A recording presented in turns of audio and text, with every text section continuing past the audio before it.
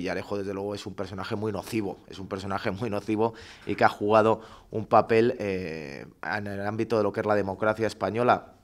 eh, podemos calificarlo realmente de perjudicial y además en un, proviniendo de una profesión en la que deberíamos tener todos toda la confianza del mundo como es la policía. Por eso eh, yo creo que cuanto antes se aclare lo de Villarejo y se aclare todo, mejor para todos nosotros.